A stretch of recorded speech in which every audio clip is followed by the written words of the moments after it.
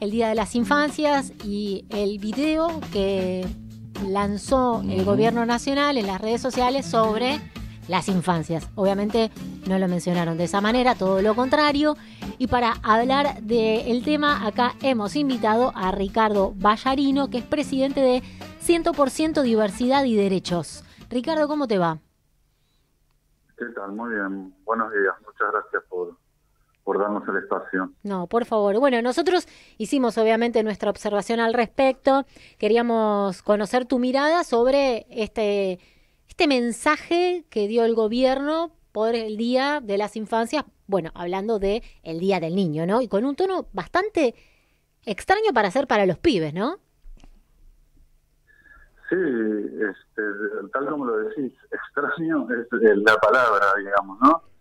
Sobre mm, respecto de, este, bueno, ustedes habrán comentado, ya habrán discutido sobre la mención forzada sobre la ideología de género como un peligro, eh, son extraños porque nunca habíamos visto un spot presidencial así en, toda nuestra historia y se supone que tiene que dar un mensaje positivo y sin embargo este, eh, aprovecha para otra vez este, estigmatizar, insultar y, avivar fantasmas, ¿no?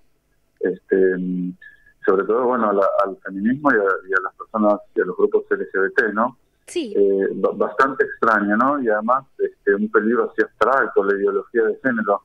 Eh, no sé, es, como raro en términos de comunicación.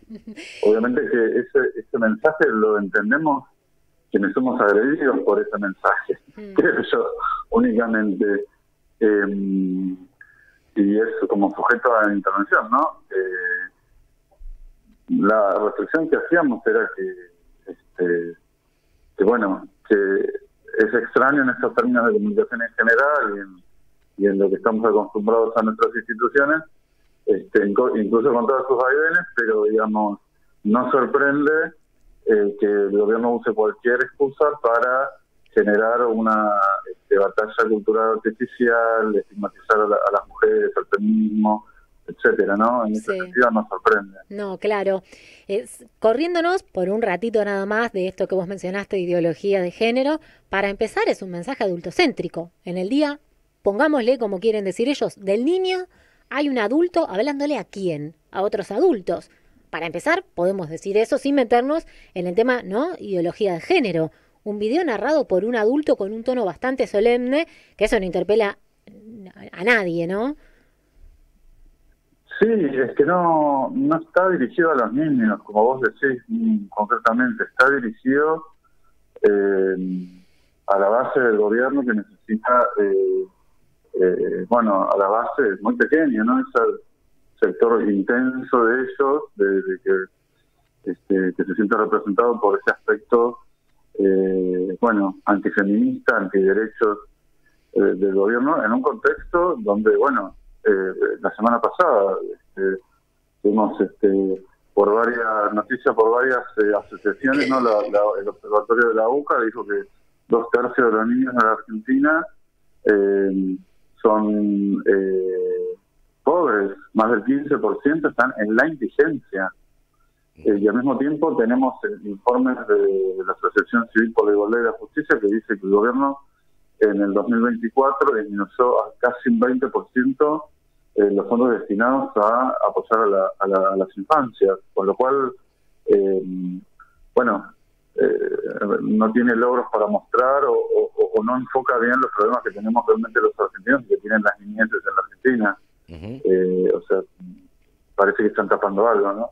Y sí, días antes se conoció la noticia que un millón y tanto de chicos se van a la cama sin cenar claramente. Vos en la estética, ¿no? Me hizo acordar, y lo digo por edad, soy el mayor acá, pero me hizo acordar a si, si yo pensara en los bandos del proceso, comunicado número uno, número dos, eh, y en la estética de las propagandas del proceso como, como evolución, diría, es esto. Mira, no, no lo viví, eh, tuve la suerte de no vivir mm. Em, pero sí eh, vemos una estética en general del gobierno, ¿no? es amenazante. De un nacionalismo, es amenazante. de un nacionalismo autoritario, ¿no? Con sesgos así intimidantes. Em, eh, eh, verticalista, ¿no? Como, eh, por supuesto, o sea, eh, era un mensaje donde uno aprovecharía este, dar un mensaje positivo, incluso sobre lo que el gobierno considera que está haciendo bien, y sin embargo es una cosa negativa, hablando de amenazas, eh, bueno, abstractas, digamos, porque es un concepto, ¿no? Claramente está hablando del feminismo, que es una lucha más por la igualdad, este, y, bueno, eh, sí, generando miedo, paranoia, y, y, lejos de los problemas que tienen las niñas en la Argentina. Digamos, peligro es, a ver, estuvimos un mes y medio con, todavía no se resolvió, y no apareció el, niño con Loan. Exacto. A ver, hay niños que desaparecen en la Argentina, mm. hay niños que no comen, eh, hay niños que son abusados, eh, maltratados, o sea, esos son los problemas que tienen las niñas en la Argentina, las niñas, los niños, las niñas, mm. eh, y, y, sin embargo eso se tapa eso con, con esos mensajes de, Sí, sí, yo diría como un... Provocador. Un conservadurismo nacional, ah, digamos, sí, y provocador totalmente. Provocador. Como gobierno. Sí, me parece que están provocando un sector que está en las redes sociales, ¿no? Porque realmente, además es un mensaje atípico por el Día de las Infancias, más allá de como quieran llamarlo, que es un posicionamiento político, ¿no? ¿Quién está pensando la comunicación? Es, la verdad que de mínima provocador. Y habla de las niñas como eh, futuros insumos porque cuando dices algo de lo que vamos a usufructuar todos en el futuro, la verdad que los niños y las niñas son lo que son hoy y solo por eso hay que cuidarlos, no, no, porque es una apuesta, no porque vayan a hacer mano de obra barata ni mucho menos, ¿no? Qué horror, qué horror. Em, y bueno, y, un clásico de este gobierno que no, se le cae la palabra derecho de la boca, digamos, ¿no? Em, em, los derechos de las niñas eh, era una, una ocasión para ratificar eso bueno, pero bueno, vieron que han sido muy burlados en las redes sociales también. ¿Ah, sí? Eh, eh, sí, con todas estas cosas que por ahí nosotros elaboramos, surgían espontáneamente en respuesta a ese post, ¿no? Em, eh, sobre todo a un, a un gobierno y a una figura presidencial que poco ha hecho para mostrarse como una figura de cuidado, ¿no? Que nos cuida a los argentinos. Yo no creo que nadie piense eso este presidente, ¿no? No, se le desmayó un pibe en la escuela y lo miró. claro. Lógicamente. Eh, es como raro ver al presidente rodeado de niños, ya nos resulta raro la vista, con lo cual eso habla también de, de, todo lo que comunica. Sí, totalmente. Hablaba de los eh, nenes envaselinados, eh, ¿no? También es completamente desagradable. No deja de, sorprender porque siempre van un pasito, una más. En cada fecha eligen una oportunidad para provocar, porque además de todo esto que estamos mencionando, hablaron de ideología de género, algo que, que tampoco está bien ni siquiera mencionarlo de esa manera, que es una forma peyorativa de mencionar el, tema. Claro, pero bueno, es el modo que ellos se encuentran de denunciar y movilizar un, como un caballito, caballito de batalla para estigmatizar al, al, al, feminismo, digamos, ¿no? Cuando en realidad más dogmático y ideológico que este gobierno prácticamente no hay. Todas las decisiones se las toma por, por ideología y no por este, eh, abordar los verdaderos problemas que tenemos, ¿no? Incluso aunque tomaran decisiones que no que uno podría no compartir, pero este pero parecen muy fijados en una idea y en un librito, ¿no? Y en muchos, muchos prejuicios. Sí. sí. A mí me parece que dieron una vuelta de rosca igual acá porque al hablar de peligro vos estás hablando de algo que hay que combatir. ¿No? Una cosa es lo peyorativo, una cosa es, es la discusión y otra cosa es calificarte a vos desde el Estado como un peligro. ¿No? Y, creo, que, merece de alguna manera una atención de si esto no es judicializable, porque vos me estás hablando a mí, me estás y sabemos por la experiencia que vivimos hace poco tiempo y hoy está en causa, que a la violencia verbal le sigue la violencia física. Y si vos sos un peligro para mi hijo, y yo te voy a agarrar el cogote. Esas son eh, las estrategias típicas de decir, bueno, eh, hago una mención eh, a un tema codificado eh, y el, el, para emitida para determinado sector. No, claramente, digamos, no, no me sorprende en este spot. En este spot no es nuevo respecto a la orientación general del gobierno, que creo que es exactamente como, como, como vos la acabas de describir, ¿verdad? Eh, un giro total respecto de todos los gobiernos anteriores, en el cual eh, la, intimidación es permanente pero bueno, ya venían hablando de esto, incluso, eh, digamos, los cierres de los, de los organismos de derechos humanos y los despidos masivos han sido más furor en, todos los órganos estatales que tienen que ver con justamente eh, proteger y promover este, y asistir eh, con motivo de los derechos humanos, ¿verdad? Y la discriminación, el Instituto Nacional contra la Discriminación, el Ministerio de las Mujeres, este, la Secretaría de Derechos Humanos.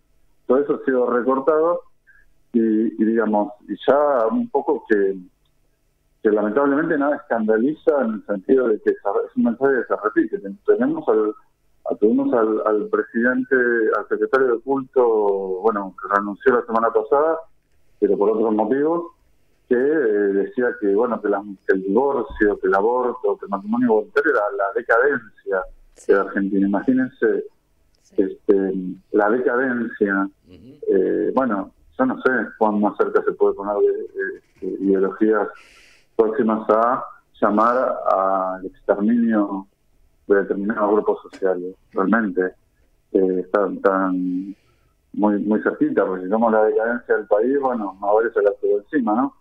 Eh, entonces es todo un, un una permanente catarata de mensajes de gobierno que van en esta dirección, digamos, sí. ¿no? Con lo cual, como vos decís, lamentablemente esto tiene un efecto de que nos acostumbramos al mensaje eh, y también nos hace pensar cómo responder a esto, porque bueno, si nos indignamos a todo de, con la misma intensidad y comunicamos la indignación, bueno, eh, también esa indignación deja de importar, ¿no? Claro. Este, como Pedrito y el Lobo. Uh -huh. Entonces nos pone frente a una disyuntiva, y por supuesto hay que comunicar lo que está lo que está mal, hay que llamar la atención, pero también nos tiene que estar pensando cómo hacer para volver a, a, a comunicarnos y a conectar con el sentido común con la mayoría de la gente que, bueno, debe estar pensando realmente este, en cómo hacer para llegar a fin de mes. Totalmente, sí. Ricardo, gracias por el ratito, me parece, y nos parece que una de las formas de dar darle pelea a esto es esto, ¿no? Comunicando, hablando del tema, generando contenidos en el mismo sentido que lo veníamos haciendo siempre, no naturalizando estas cosas que, que están haciendo y bueno, tratando de escucharnos y generar una alternativa para que las próximas elecciones gane un gobierno nacional y popular que no nos maltrate como está como lo está haciendo el que tenemos actualmente. Te mandamos un abrazo. Sí. ¿Sí? Bueno, muchas gracias. ¿Querías agregar algo?